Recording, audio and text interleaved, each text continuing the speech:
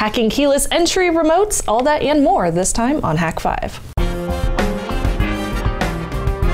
This episode of Hack 5 is brought to you by Domain.com. Hello and welcome to Hack 5. My name is Darren Kitchen. My name is Shannon Morse. It's your weekly dose of Technolust. Welcome, everyone, to our amazing show. Very excited about this show. We have been having so much fun lately. Yes, we have. RF goodness. But first, But first, we have interlacing. We, we'll talk about that later. we have been releasing. We also have another sticker for our big Sticker wall of doom. our wall of doom. It's not a wall of doom, it's a wall of awesome. So this is from Crash Space. If you haven't heard of it, it's a hacker space down in LA, I believe, correct? Yes, visited on Yeah. Hack Across America. Can't wait to do that again. That is a and we perfect spot love for it. featuring you guys on the wall. Yes. So thank you for sending these along. Where can they send them if they're interested in sending us a sticker? Uh, they can find the address in the doobly-doo or in the uh, the thing with the show notes at thehack5.org. I think it's 548 Market Street, number 39371, San Francisco, California, 94104. there you go. So that. All right, so today on the show, we are going to be covering a couple of different things. First off, keyless entry systems, the RF replay attacks, rolling codes and their vulnerabilities, and how the DMCA may or may not apply, and our progress so far on hacking key fobs. Right. Key fob, hacking. It goes so well together.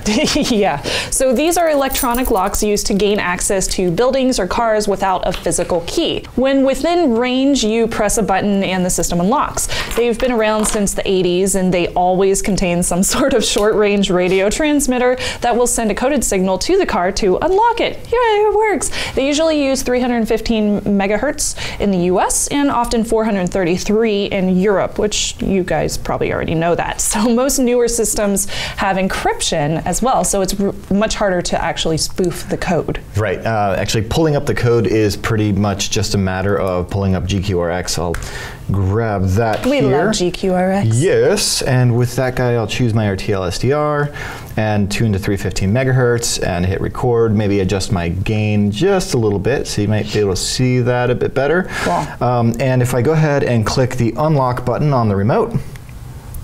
There you go. There it is again. There it is again. Beautiful. And as we'll see, it's not the same every single time. So, in case of, of keyless entry systems, a replay attack can be used by an eavesdropper, eavesdropper to gain access to the car or to the warehouse or wherever this might be happening. This attack will take a real transmission from the keyless system, capture it, and then repeat it or delay it to the car or the system. The, the receiver. So this attack can be avoided by using a session token so that each time the key fob is used, a new token is sent along with the radio code that the car expects. So the token could be a random, it should not be predictable. Uh, unfortunately, some things like community gates or garage, garage doors, for example, usually just use the same code over and over uh, in lots of cases. Not all, but lots. So it's really easy to capture it and use a replay attack to gain access. Which is what we've been doing lately with the RTL SDR and the Yardstick One, and it's you know the, with the doorbells and the switches, and it gets a lot more complex though when you start getting into actual vehicles. I'll give you an example here uh, and pull this up in GQRX or actually in Audacity to analyze, and you can see, wow, that is. So that's your key fob, huh? Yeah, you can see there's the very beginning where it just sends a bunch of ones and zeros to figure out the data rate, but then it just keeps going and keeps going. long. And it is way, way, way more than uh, just the 32 bits or 64 bits that we've been used to in some of the other attacks. Um, and this actually brings us to another way to prevent these sorts of attacks, which is to use a rolling code, which is what this key fob is doing. And basically, this is where the uh, key fob actually transmits a new code each time the button is pressed. And both the receiver and the transmitter just need to know what that next code should be. Uh, it's, it's also shouldn't be predictable. Like if you're going to send Yeah. like a three, the next one shouldn't be a four and then a five or something ridiculously simple like this. It should be encrypted. Um, and unlike the fixed codes that we found on things like garage door openers, uh, with that encryption, it's just so much harder to spoof. Uh, I can give you an example Yeah. actually. If, By the way, we know not all garage door openers use the same code over and over again, Right. but it's a good example. And, and some of the rolling codes in the, the old garage door openers are, well, it's not always the same. It's pretty bad. I'll, I'll give you an example. Like, Yeah. like here, for instance, if it would send like a 17, right, Okay. as its uh, as its code, and we'll just pipe that to MD5 sum as like a terrible hash example. It might send that, and if you figure out, oh, it's just an MD5 sum of 17, then you might say, okay, cool. Well, the next one is going to be 18 Oh, no. to MD5 sum, and you know, Bob's your uncle. So it ends However, up being really easy to predict. it can be unless you do what a lot of manufacturers do. And I, I don't know the exact details because, again, these are proprietary systems that we're attempting to. Um, to do some security research on here because, you know, it- perhaps it is as simple as a uh, assault that is known between the vehicle and the key fob, and that would look like this. Instead of 18 looking like I just showed you, 18 if we also added um, plus some secret key that only Volkswagen knows, we're going to get a completely Ah. different thing. And as Yeah. long as both the key fob and the car know that thing, That would be really hard to reverse engineer. Uh, we could brute force it. I'm not really sure. We're, we're going to see what where we can get with this. Yes, we are. So when we get back, we will be using the RTL SDR to analyze remote keyless entry signals from Darren's key fob, and we'll be getting into some known vulnerabilities. If you've got a great idea, you want to get yourself a great domain, which is why we are huge fans of our friends over at domain.com. If you've been watching this show for a while, you know how much we love these guys. They're fast, they're easy, they're affordable. And with domain.com, it's a snap to get your new .com or your hosting or whatever you want from them up and online in an instant. And right now is an amazing time to head over to domain.com because they are having an epic, huge mega sale. Seriously, this is the big one of the year. So grab your domain names now because the coupon code HAKJumbo will get you 35% off new domain registrations. It's a limited time offer between now and November 30th, so act fast. Get your domain on, use coupon code HAKJumbo, and make sure to tweet some love at the fine folks at domain.com for supporting Hackbot for so many years. It's so great. And remember, when you think domain names, think domain.com.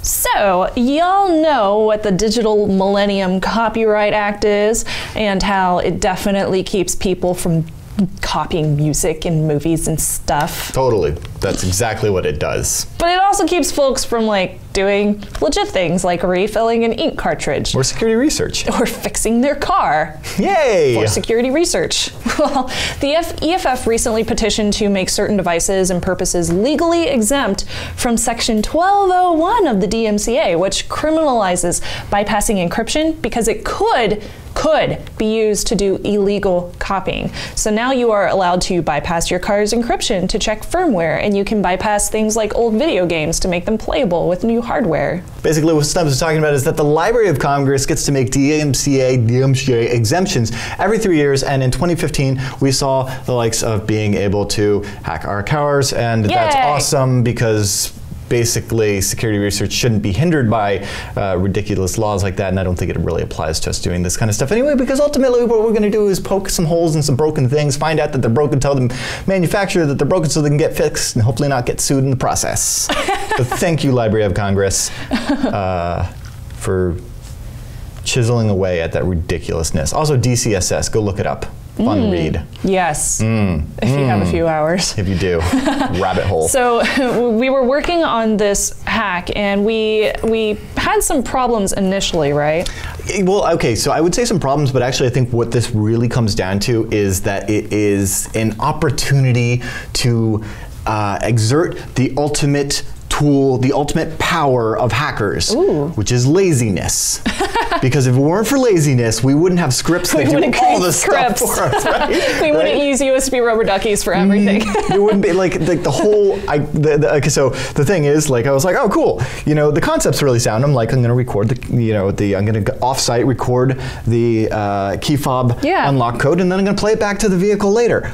Rad, super simple. Except then I get this mass of bits in Audacity, and I'm like, yeah, no, I don't feel like sitting around with graph paper Figuring and out marking out ones. ones and zeros. It's just there has to be a systematic way to decode this. Okay. And very much like uh, the- you know the, the rest of the stuff that we've been doing in this series, it's on-off keying, it's uh, amplitude shift keying, it's simple stuff. It Ones shouldn't be difficult to take some you know a wave file or you know whatever IQ data uh, and, and turn it into ones and zeros if it is just on-off keying. And then turn it into hex. Yay! and we can do that with, for example, uh, M&M clock recovery. And this is, yeah, clock recovery MM is a block for GNU Radio. And if you haven't checked it out, it's pretty complicated and amazing and seriously cool. I mean, and that could those adjectives could be used to sum up GNU Radio as a whole. But essentially, we should be able to pass in some data in there and get binary out. Except it is like dark magic, and I'm not gonna lie, I spent hours on this uh, uh, unfruitfully, and I'm just hoping because the god of SDR, aka Mike Osman, is coming down to Hack 5 here real soon, he can maybe show us some stuff. Um, And if you guys aren't familiar with GNU Radio, um, I just made a playlist on our Oh. YouTube, youtube.com slash hack5. There's a playlist for all the uh, RTL SDR videos. So Hmm. you can watch like all 49 of them from number one all the way to number 49. Uh, which you'll be decoding stuff week's. like a champ in no time. Oh, yeah. Um, I also want to point out another tool that you might want to take a look at to automate this stuff. It's called GR RevEng. It's a block for Ah. uh, GNU Radio, which does stuff to reverse engineer protocols. And so that's up on GitHub. I want to point that out as well. But this tangent led me to RTL uh, 433 tools because ultimately I'm using an RTL 433, RTL 4, uh, an RTL, SDR, SDR. dongle so many letters and numbers. I'm using an RTL SDR dongle to do this capture because it's ubiquitous, it's cheap, it's easy, it's you know, um, it's great. So I love that dongle. I'm just going to go ahead and fire up one of these RTL tools and I don't know if it's part of the normal package. I should point out that if you don't have the RTL tools, you just what is it, sudo apt get install RTL Yeah. SDR or whatever your package manager may be. And then if you do say RTL underscore and hit tab, you'll get some autocompletes for cool stuff like ADSB for um, Airplanes. uh, auto dependent surveillance broadcast. I can't remember. Anyway, airplanes, like Snub said, uh, as well as F, uh, FM and TCP and all sorts of cool tools. But one of them that may not be included, that you might have to grab yourself from over at the GitHub, is RTL433. And please do not let the name um, deceive you because it's not just for 433 megahertz stuff. This is an awesome tool that'll use the RTL SDR and uh, basically use it to receive generic data and make some sense of it, which is awesome. Uh, so I just kind of want to dive in here because as far as like you know, taking something off the shelf and being able to decode what the key fob is saying so that I can pass it into ultimately RF cat and replay the thing.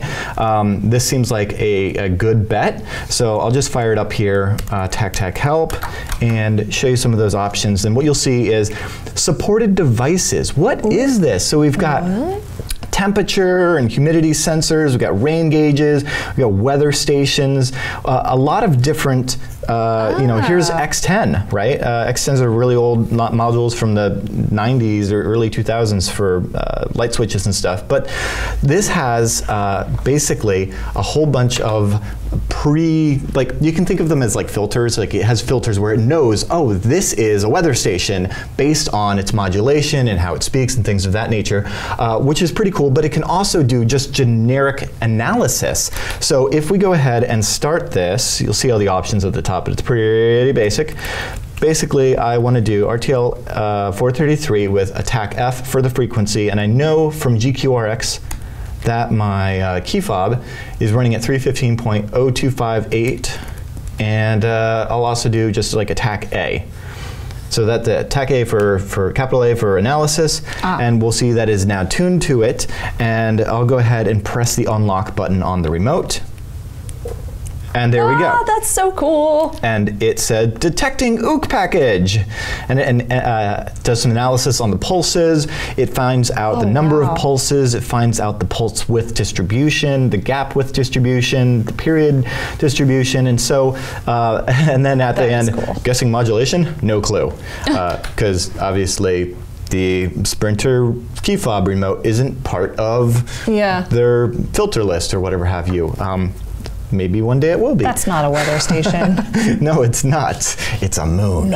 Wait, space station. Dang it. Um, I'm going to try it again though. Uh, I'm going to show you it with the TAC lowercase a option. This is really cool because if I go ahead and press the unlock button, not only will we get that data, but we get Hex. straight up hex.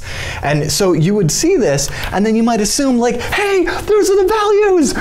Send it over to RFCAT, and everything will be happy, and doors will be unlocking, and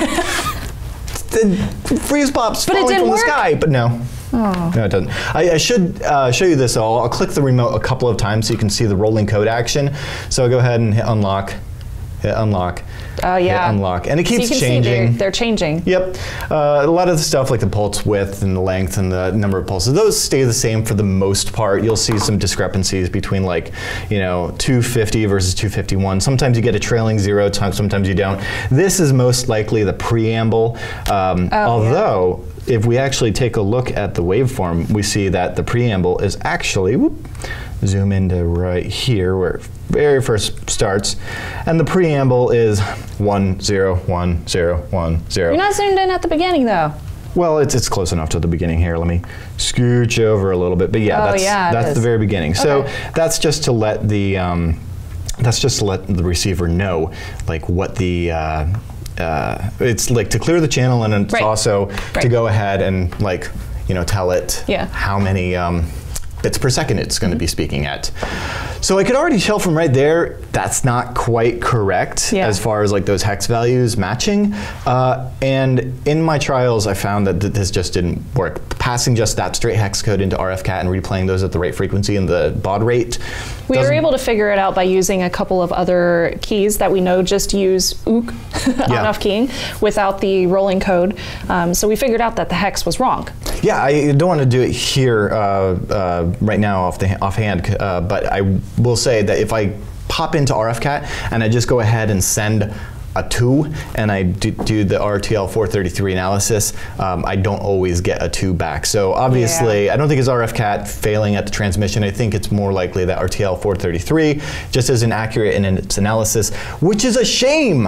It but I show you regardless, just in case I forgot the tack tack make it work option or there's something else. But either way, So cool. I feel like the concept is sound. Basically, Shannon and I were out to dinner with friends, and she goes away, and I steal her keys and hit the unlock button and record it, and then later I go out to the parking lot, and I can yeah I could unlock your car, and then I could just as long as I'm the next one to play that before you get there, then I could steal all the Sailor Moon plushies out of Shannon's car, which Such a would be fun.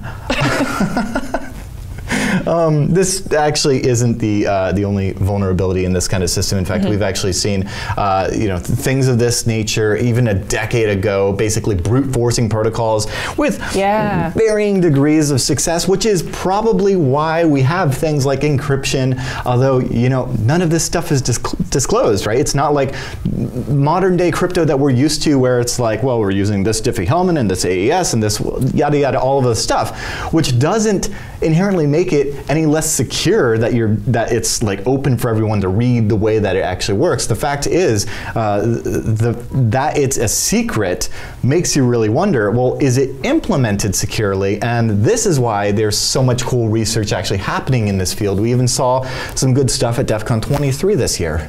Yeah, Sammy cam cards. So that's the scary part about these things is that they can still be spoofed. Um, so Sammy cam card did this earlier this year at DEF CON. He basically jammed a rolling code and then he stored its value and then later used that store code to unlock a receiver as long as it hadn't been used yet, just like what Darren said. And there isn't a time limit on these codes, which is kind of the screwed up part. So if you press your key fob, store the code, walk away, you know, go to the car and then trigger the receiver, you could then take it out to your car and unlock it. So creating an expiration for these rolling codes would probably fix this issue mm-hmm. like in itself, kind of like what we use for two-factor authentication codes in Google Authenticator and stuff Oh, you're like saying that. so that the code is only good for like 60 seconds, yeah, but these codes, nature? there is no time expiration. The, the codes don't expire. However, once that code is used, Once it's, it's not going to allow it again. It- It's so Right. so the But if- window if, of you attack steal is the keys Yes. and you store you like the, the next keys. few codes, then you have a few more codes that you can use on that car as long as they haven't been used. And you can use them whenever you want. They never expire. That's interesting. Uh, the, the way that that hack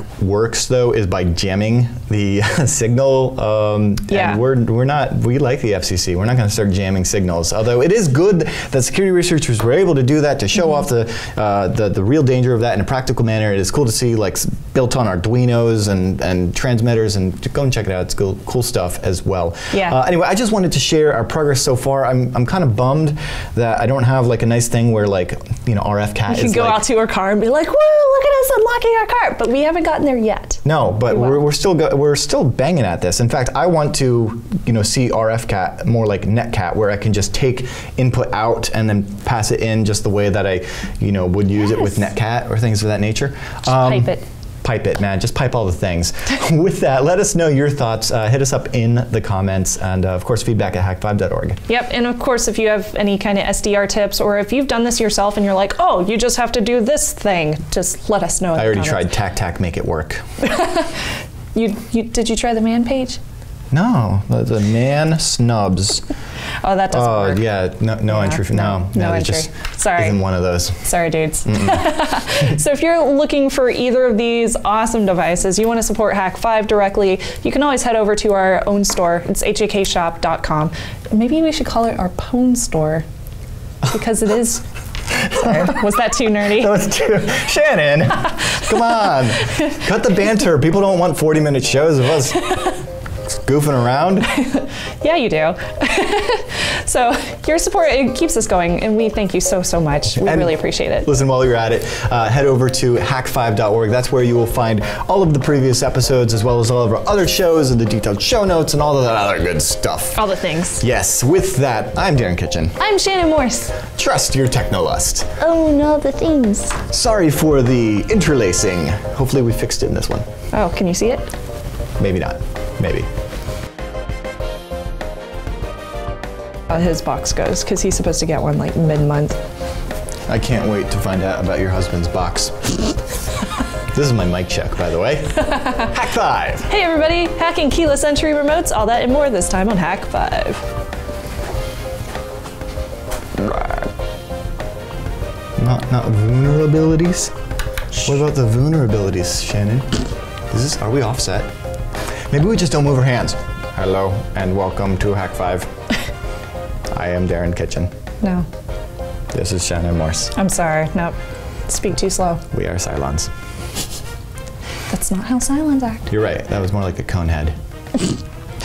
Half the audience is like, "What's a cone head?"